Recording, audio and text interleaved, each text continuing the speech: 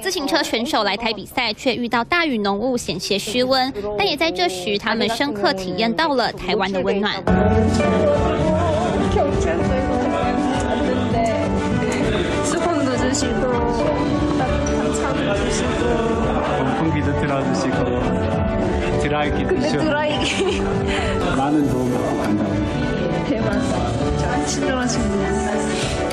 是韩国的自行车冠军情侣 Miso 与高丁丁，三年前来到花莲参加自行车登山王挑战赛，却因为高海拔与天气问题身体不适。本来只是想停下休息，却意外受到远景温暖的照料。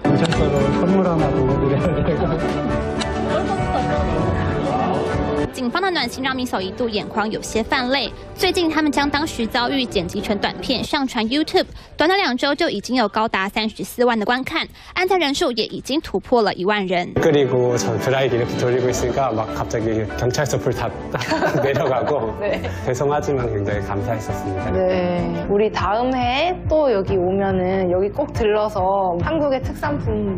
哦，说真的，我们已经忘了这档事。